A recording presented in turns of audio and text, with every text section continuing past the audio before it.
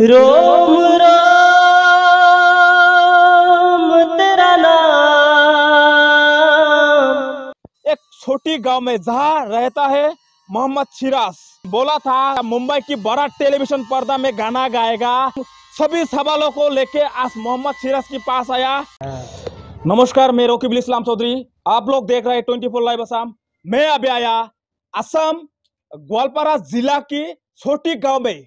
जहाँ पे रहता है मोहम्मद सिराज मोहम्मद सिराज की हर एक सवाल की जवाब लेके आज हम लोग सोशल मीडिया के सामने आ गया। आप लोग मोहम्मद सिराज भाई को जैसा शेयर किया सपोर्ट किया, उतना ही सपोर्ट दीजिए आज भी। मोहम्मद सिराज के बारे में बहुत बहुत जनों ने बहुत सवाल किया, बहुत जनों ने बहुत क्वेश्चन किया।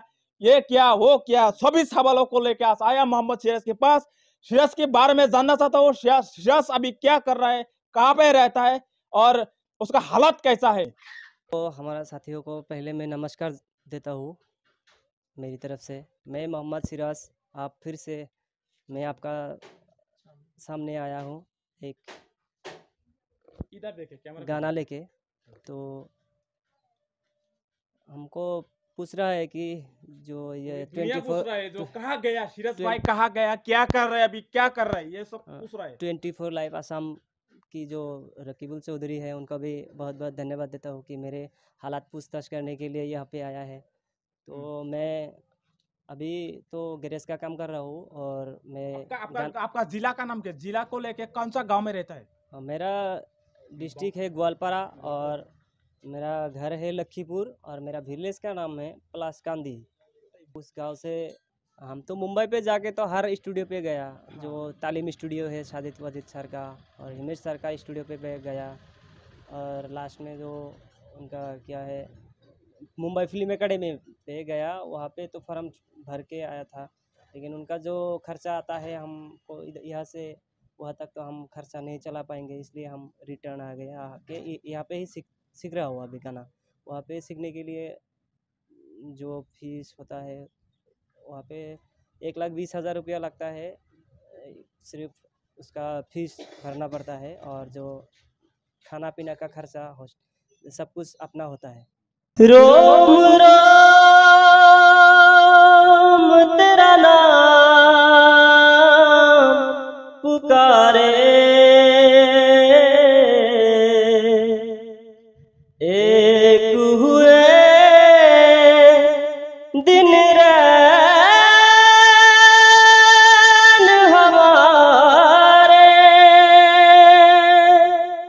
हमसे हम ही सिन गए।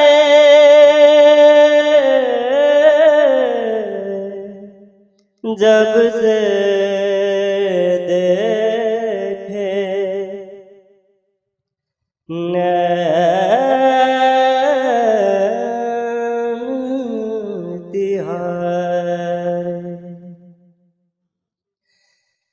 सजदा।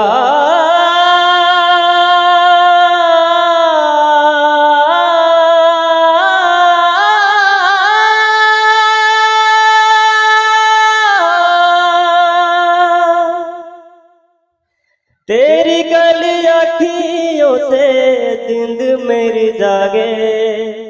धड़कन से तेज दौड़ू सपनों से आगे। अब जा लूट जाए, ये जहाँ छूट जाए, संग प्यार रहे, मैं रहूँ ना रहूँ सजदा, तेरा सजदा। करूँ मैं तेरा सजदा, दिल रहन करूँ, ना ही चैन करूँ। तेरा सजदा तेरा सजदा। जो मुंबई का बड़ा टेलीविज़न के पर्दा में आएँगे आएँगे ही आएँगे ऐसा बोला था तो अब क्या हुआ? तो ये तो नसीब का खेल है मैं इंडियन आइडल का ऑडिशन भी दिया था गुवाहाटी में जो ऑडिशन हुआ था हाल ही में वहाँ पे ऑडिशन दिया और वहाँ पे जजेस ने की बोला है कि बेटा तुम बहुत अच्छा गाते हो तुम मेहनत करते जाओ और गाना सीखा है कि नहीं। मैं मैं बोला कि हाँ सीखता हूँ मैं। कहा ठीक है मैं बेटा तुम काम करते रहो। ऐसा बोला है। बाद में तो सिलेक्शन नहीं हुआ। वो तो अलग बात है। बहुत सारा आदमी लोग बोला है एक ही गाना लेके आया था एक ही गाना वायरल हुआ लेकिन अभी से नेक्स्ट गाना नहीं वायरल होगा ऐसा ऐसा बोला। बहुत सारा आदमी लोग ऐसा कमेंट किया। उसी उम्मीद में तो मैं अभी भी स्ट्रगल कर रहा हूँ कि आप एक ही गाना जानता है ना दूसरा दूसरा भी गाना जानता है? दूसरा गाना बहुत जानता हूँ। अच्छा। लेकिन लोगों ने जो कमेंट में बताता है वही हम सुनाते सुनाता हूँ लोगों को। सभी दर्शकों का सवालों का जवाब आपको शायद मिल गया। इस वीडियो में आज के लिए इतना ही। नेक्स्ट वीडियो में हम बात करेंगे। आप लोगों का विसर और हमारा आवाज़ हमेशा बुलंद रहेगा। आप लोग देखते रहिए ट्वेंटी फोर लाइव असम।